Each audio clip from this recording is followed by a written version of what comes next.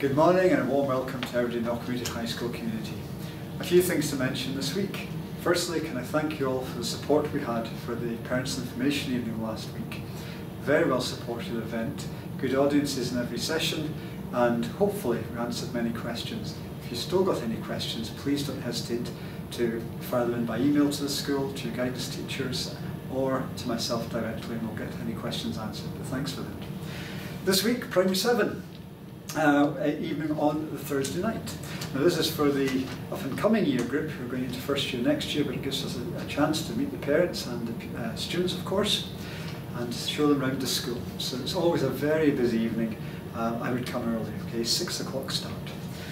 Now, moving on, if you have a student at the other end of the school who is in fourth, fifth or sixth year, then the targets have now been set.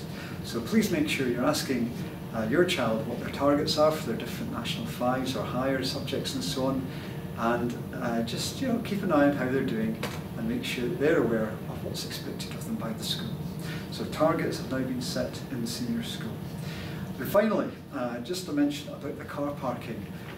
We sent a text out last week asking that uh, everybody picks up at the overflow car park. Now we're trying to get the main car park and the road round from the school as quiet as possible. Can I thank everybody for adhering to that uh, text. We had far fewer cars in the car park at the end of the day than usual. The road was much quieter. And we have asked staff as well not to leave until five or ten minutes after the bell. Now, it all really runs on goodwill.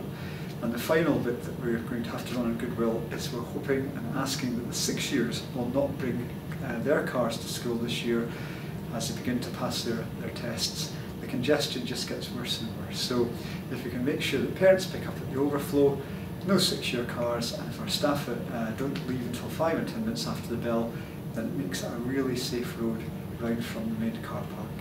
So that's it for this week. Thank you very much for uh, listening, and um, any problems, you know where we are. Thank you.